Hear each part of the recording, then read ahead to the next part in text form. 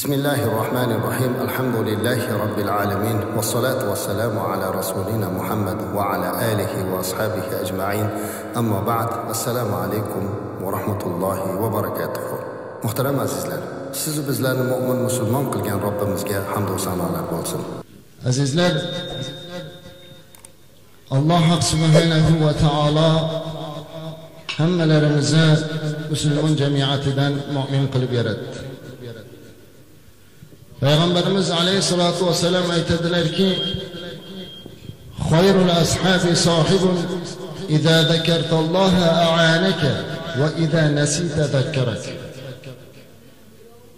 Do'stlarni ichida eng yaxshi do'st siz Allohni eslamoqchi bo'lganingizda sizga yordam beradigan do'st. Siz Allohni esdan chiqarib qo'yganingizda esingizga solib qo'yadigan do'st bu eng yaxshi do'st dedilar payg'ambarimiz sollallohu alayhi vasallam. Mana bunday shar'iy marosimlarni qilishlikdan maqsad ham xoyrul ashob qatoridan o'rin olishlik.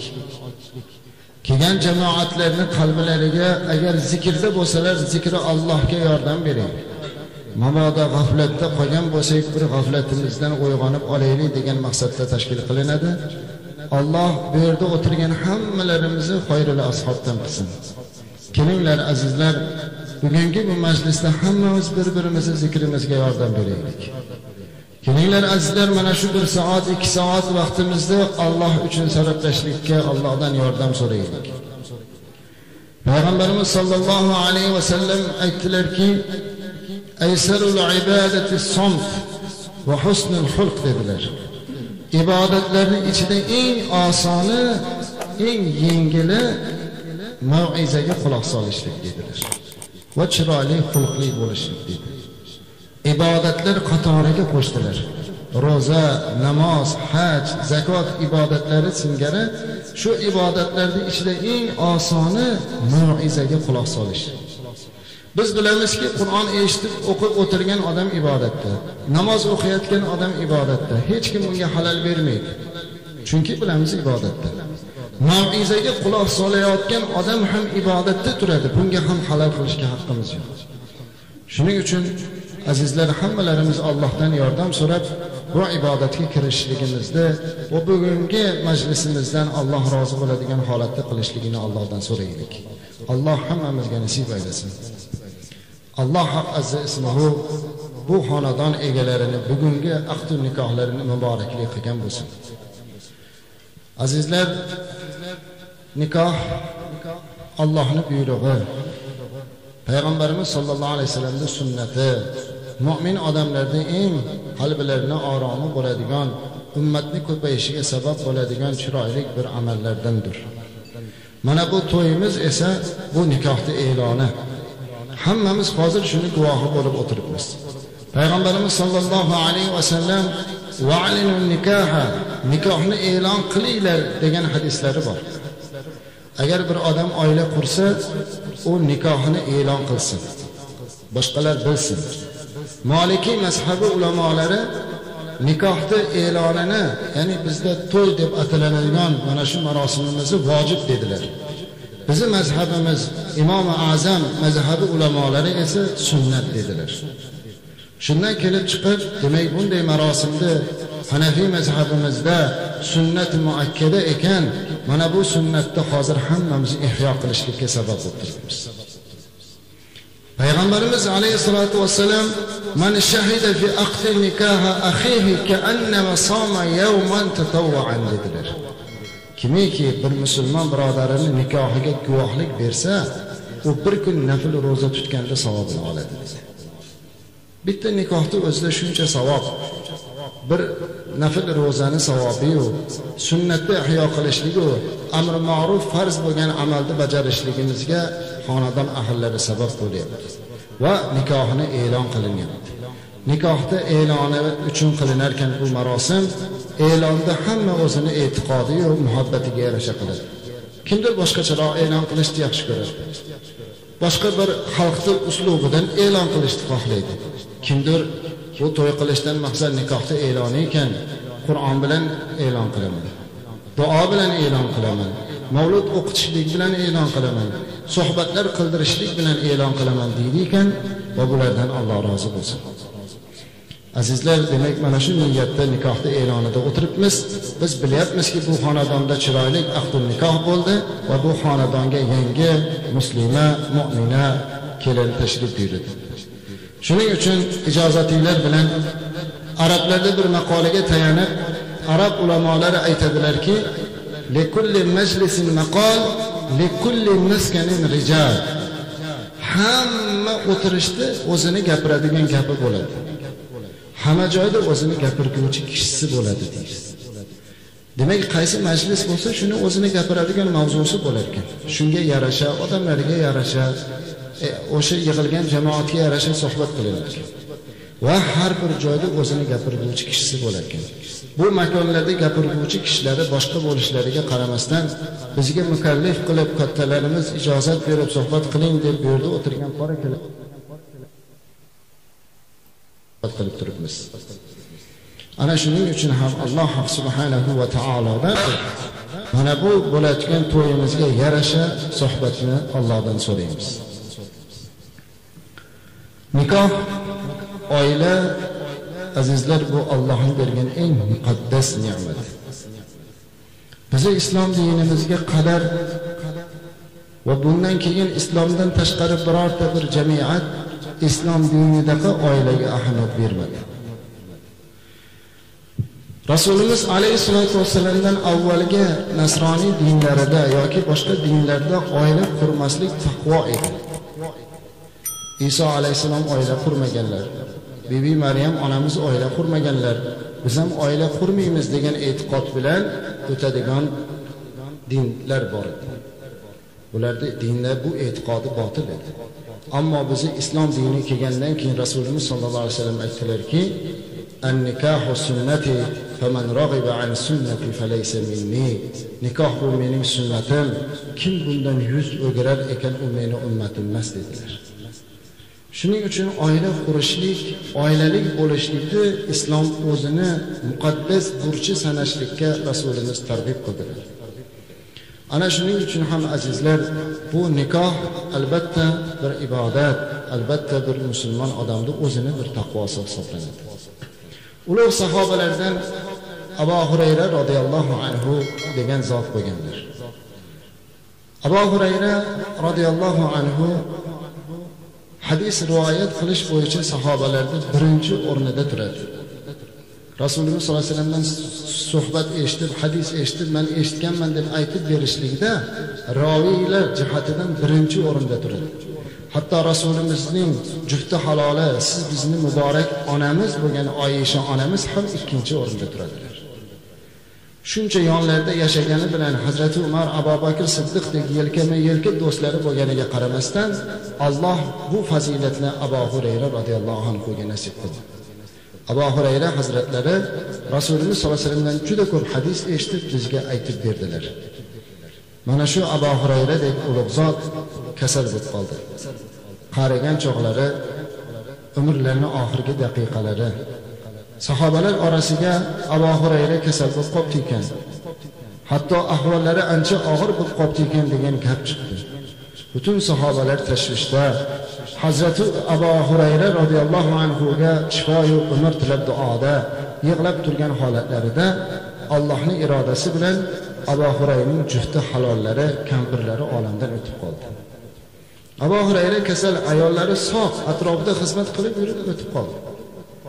Bu xabarni eshitib butun sahobalar abu hurayra roziyallohu anhu uyiga tashrif buyurdi u davrlarida hazrati umar roziyallohu anhu xalifa edilar hazrati umardek ulug' zot ham tashrif buyurdilar va abu hurayraga bo'lgan ehtirom va hurmatlari ila abu hurayrani jufti halollariga janoza o'qidilar janozani o'qib bo'lganlaridan keyin abu hurayra roziyallohu anhuning oldilariga kirib bir ta'ziya izhor qilib qo'yay bu og'ir musibatga sabr so'raylik deb kirdilar. Kirsalar abu hurayrani ahvoli ancha og'ir. Hazrati umar kelib yonlariga o'tirdilar. Ya abu hurayra alloh sizga sabr bersin. Siz bugun judayam ulug' bir musibatga uchrab qoldingiz. Siz necha yil yostiqdoshingiz bo'lgan umr yo'ldoshingiz va ibodatdoshingiz bo'lgan rafiqangizdan ayrildingiz. Alloh sizga sabr bersin. Bu og'ir musibat. Menga nima xizmat bor? Nima qilib beray dedilar abu hurayra hazrati umarga qarab turdilarda ya amiral mo'minin ayolimni janozasini o'qidingizmi? dedilar. Ha o'qidim. Mayit olib chiqib ketilindimi? Olib chiqib ketilindi. Unday bo'lsa meni bir muslima qulim bor xizmatkor ayolim bor shuni menga nikoh qilib qo'ying dedilar. Hazrati umar taajjublandilar. Endigina kampirlari o'tgan bo'lsa hali jasadi qabrga qo'yilmasdan turib bu kishi nikohni so'rayapti-ya deb tabassum qilib ichlarida kinoya qilib kuldilar. Hazrati umarni tabassumini ko'rgan abu hurayra mundoq hazrati umarga qaradilarda ya amiral mo'minin limada tadhak? Ey amiral mo'minin nima uchun kulyapsiz? Dedi siz rasululloh sollallohu alayhi vasallamni olloh yagonadir yolg'izdir. Va o'zidan boshqasini yolg'iz qabul qilishni yomon ko'radi degan hadisni eshitmaganmisiz? Dedi allohga qasamki men bu hadisni eshitganman. Men esa olloh yaxshi ko'ruvchilar bo'lib borishni xohlayman. Dedi bu gapni eshitib hazrati umar roziyallohu anhu yig'lab yubordi shu hadisni eshitmaganlikdan abu hurayrani e'tiqodidan yig'lab yuborib darhol haligi xizmatkor ayolni olib kelib nikoh qildilar ikki soatdan keyin abu hurayra roziyallohu anhuni o'zlariga janoza o'qidilar. Hatto olamdan o'tishlik holatida ham hadisga amal qilib o'tdilar bu zot. Bundan oladigan xulosamiz oila qurishlik azizlar har biri bizni burchimiz bizni e'tiqodimiz qolaversa sunnatimiz va allohni huzuriga borishlikka intilish bo'larkan. Bu nafaqatgina yoshlarga balki yoshi kattalarga ham ba'zan otalarimiz kampirlardan onalarimizdan ayrilib qoladi. Allohni irodasi hamma olamdan o'tishi muqarrar. Shu holatda farzandlar ayniqsa qiz farzandlar otasini qaytib uylashligiga aslo qarshilik qilmasinlar. Balki ular yugurib yelib farzandlik vazifasini bajarsin. Hatto ba'zi birlar aytadilarki axir meni onamni o'rnini kim bosadi? Meni onam shunday ayol ediki buni o'rnini kim bosadi? Ey birodar sizni onangiz abu hurayrani ayolichalik emas edi. Shunday sahobani xizmatini qilgan kechalari qoima bo'lgan ayolni o'rniga loyiq topildi ikki soat muddatga. Nima uchun bu gapni gapiramiz deb ularga yaxshi gaplar bilan nasihat qilishligimiz lozim bo'ladi. Oila qurishlik shariatni buyrug'i oila qurishlik rasulimiz alayhissalotu vassalomni sunnatidir. Lekin sahobai ikromlar ham o'sha davrlarda shu oila tashvishlari haqida ko'p suhbatlar qilardi sarvari koinotni oldiga bir qancha yosh sahobalar keldilar kelib aytdilarki ya rasululloh sollallohu alayhi vasallam biz uylanishlikka qodir emasmiz. Pulimiz yo'q dunyoyimiz yo'q. Uylanmasdan umrbod o'tishlikka qasd qilsak maylimi? dedilar. Rasulimiz aytdilarki yo'q dedilar. Allohdan yordam so'ranglar uylaninglar. Meni ummatim qiyomatda ko'p bo'lib turishdan faxrlanaman uylaninglar oila quringlar. Shunda sahobalar aytdilarki agar uylab oila quradigan bo'lsak kimlarga uylanaylik qandoq qilaylik degan savollarni berdi. Mana bu narsa azizlar eng haqiqat bayon qiladigan narsadir. Demak oilani zaminini tayyorlash. Bu haqida rasululloh sollallohu alayhi vasallam ko'p yaxshi gaplarni gapirib javoblarda aytdi. Hozirgi paytda ham aynan shu narsa bizga kerak bo'lgan bir holatda turibmiz. Chunki butun olamda g'arb yevropa amerika va boshqa boshqa g'ayri din davlatlarida ham oila buzilishlik birinchi o'ringa chiqib qoldi. Hatto o'zlarini matbuot gazetlarda xabar qilib aytyapti bir kunlik oilalar tashkil bo'lyapti. Bir soatlik oilalar uylanyapti ajrayapti. Kundan kunga oila buzilishlar ko'p. Hatto bu muammo siramiz islomiy hududlarga ham kirib kelyapti. Oilani ko'p buzilish ko'p bolalarni yetim bo'lish. Ular nima qilyapti g'arb? Nima qilyapti yevropa aytyaptilarki endi oilani mustahkamligi uchun oilani o'rgatadigan bir psixologlar ruhshunoslarni chiqaraylik. Oilani o'rgatadigan undoqlarni bundoqlarni chiqaraylik. Oilaga ayol kishini rahbar qilib ko'raylik. Boshqa boshqa gaplarni gapiryaptilar. Bularda hammasi benatija hech qanday yaxshilikka boshlamayapti endi bizlar ham shu narsani guvohi bo'layotgan vaqtimizda nima qilaylik nimaga e'tibor beraylik degan narsani biz rasulimiz alayhissalotu vassalamdan javob izlaymiz avvalo o'sha sahobalarning savoliga rasulimiz aytdilar qola rasul sollallohu alayhi vasallam تنكح المرأة لأربع لجمالها لحسبها لمالها ولدينها ayollar to'rtta narsasi uchun tanlaniladi dedi. To'rt narsasi uchun nikoh qilinadi.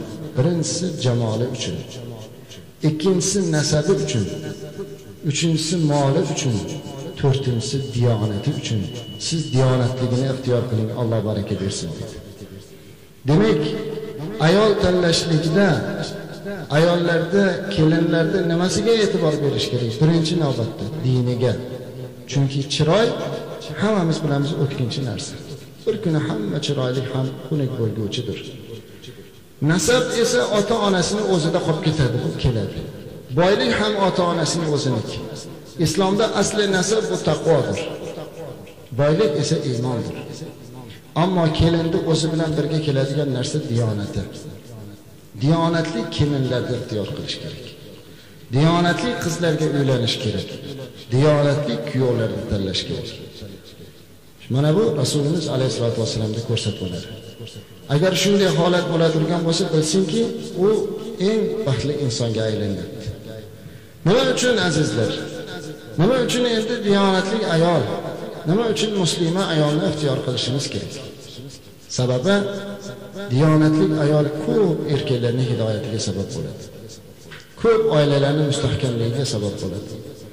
Rasulimiz sollallohu alayhi vasallamni har bir so'zlari bizga dasturul amaldir rasulimiz alayhissalotu vassalam shu gaplarni gapirganlarida misol tariqalarida ko'p sahobalarni misol keltirishimiz mumkin. Diyonatli ayollar o'z erini hidoyatiga sabab bo'lishligi ikrima ibn abu jahlning misolida. Ikrima abu jahlning o'g'li. Islomda dushmani. Rasulimiz alayhissalomni dushmani. Juda ko'p ozor bergan mana shu ikrima haqiqatda ham dushman bo'lgan. Hatto makka fath bo'lguncha ham islomga kirmadi.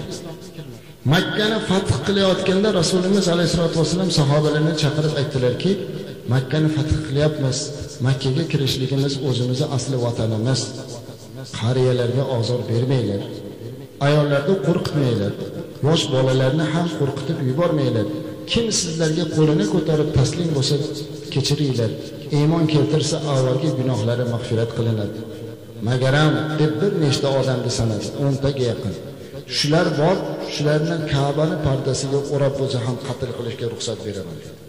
Bulardan bittasi ikrima ibn abu jahl edi. Ikrima bu gapni eshitib makkadan qochib ketib qoldi. Allohni inoyatini qarangki azizlar. Ikrimani ayoli muslima bo'lib qoldi. Ikrimani oldiga kelib rasulimizni oldilariga ayollari kelib aytdilarki ya rasululloh sollallohu alayhi vasallam meni erim ikrimaga o'lim hukmi berilibdi. Kechirsinlar. Men muslimaman degan edilar. Rasulimiz sallallohu alayhi vasallam aytdilarki ey qizim dedilar. Sen muslima bo'lishliging albatta yaxshi sharafli lekin seni ering juda ko'p islomga ziyon keltirdi. Ko'p sahobalarni zahmati bilan ularni bu dunyodan o'tishiga sabab bo'ldi. Seni kechirolmaymiz yeringni iymonga kelmaydi. Ya rasululloh sollallohu alayhi vasallam dedilar ayol. Agar meni erim hozir o'ldirilib yuborilsa butun farzandlarimga uning ajdodi uning otasi kofir holida ketganligi qalbida qolib qoladi. Oxirgi imkoniyatni bersinlar shoyatki farzandlarimni otasi iymonda ketib qolsa dedi. Bu gapdan rasulimiz sollallohu alayhi vasallam ta'sirlanib mayli eringga borib ayt. Omonlik berdik ikrima bu jahlda qochib qochib bu paytda qizil dengizi bo'yiga kelib qolgan.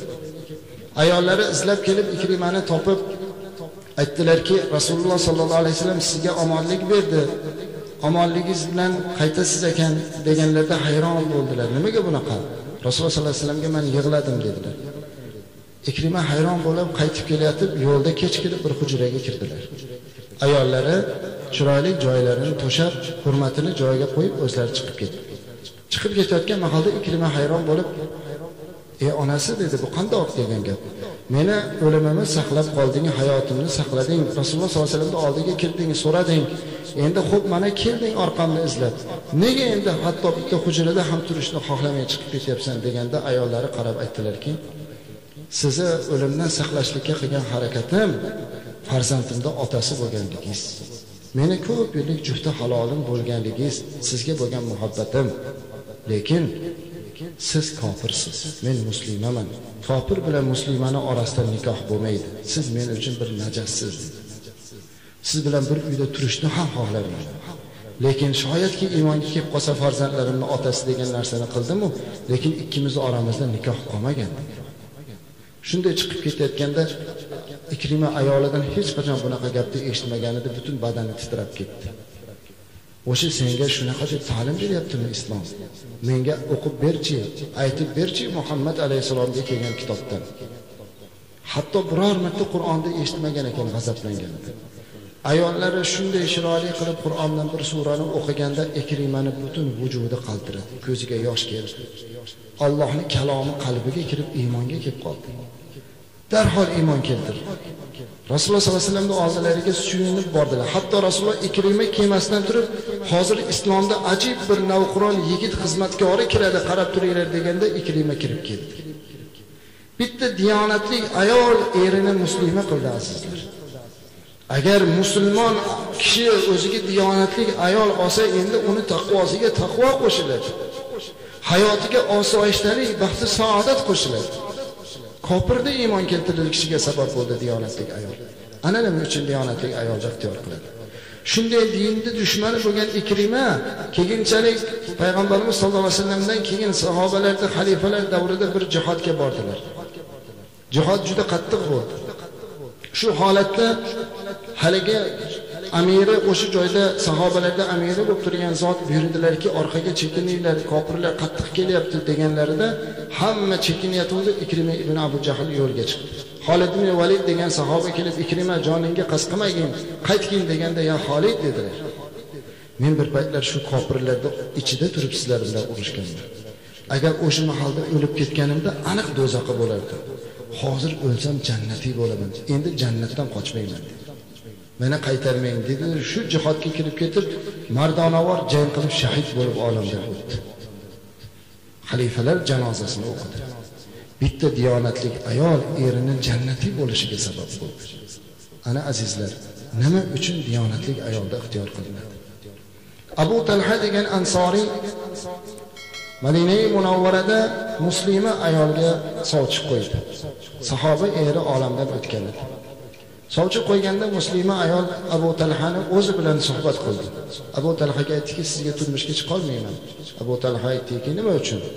Men madinani eng badavlat kishisiman. To'g'ri lekin siz musulmon emassiz. Siz obro'li yaxshi odamsiz lekin musulmon emassiz dedi. Abu talha aytdilarki mendan kattaroq mahr beradigan odam bormi dedi. Yo'q gap mahrda emas. Agar siz musulmon bo'lsangiz sizni islomingizni o'zimga mahr deb qabul qilaman. Hech narsa olmayman. Abu talha iymonga keldim. Ana ol islomni mahr qil hamma eshitganda abu talha shu ayolni deb islomga kirdi. Uni qalbida bu narsa yo'q edi deb gumon qildilar. Lekin haligi muslima ayol bilan bo'lgan turmushi berilingan mahr islomi abu talha roziyallohu anhuga shunchalik darajada iymon ato qildiki haqiqatda ham dindan uzoq bo'lib turgan bu kishi eng badavlat odam bo'lib o'zini judayam chiroyli daromad beradigan katta xurmozorida namoz o'qib turgan edi. Bu xurmo madinada birinchi o'rinda turadigan xurmozor edi. Katta bog' edi. Namoz o'qib turgan ekan to'rt rakat peshinda o'qiyotganda bir qush kelib xurmoga turib sayrab qoldi. Abu talhan namozni turib haligi qushga qarab turib mahliyo bo'lib namozdan adashdi. To'rt rakat o'qidimmi ikki rakat o'qidimmi deb adashib qoldi namozini buzib boshqatdan o'qidida yig'lab yubordi to'g'ri rasulimiz alayhissalotu vassalomni oldiga borib yo rasululloh men ollohni ibodatida edim. Namoz o'qiyotgandim lekin bog'imga hushim ketdi. Sayragan qushga oshiq bo'lib namozimni ikki rakat to'rt rakat deb o'ylab namozni buzdim.